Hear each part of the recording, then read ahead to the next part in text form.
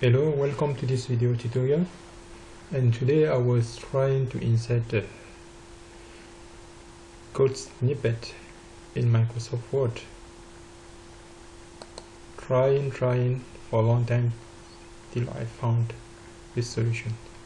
In fact what I wanted to do is to insert the code on maintaining uh, the syntax highlighting and the code formatting. So till I found this uh, website called Planet B. Here the author recommend you in order to have a nice syntax highlighting. To use a Explorer as the browser because Firefox and other one doesn't support it properly at least at the time of uh, this writing.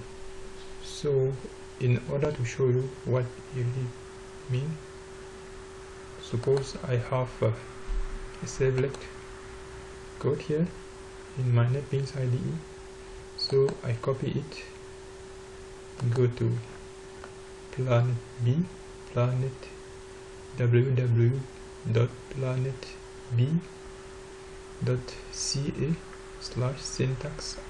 Highlight word then here you will find a form. If you paste a code here depending on the language that you are using here I'm using Java so I keep it as Java. Submit the code and then you will return uh, formatted code so what you do is just select all copy it go to Microsoft Word then paste it. As you can see the output here look it's very well uh, highlighted with line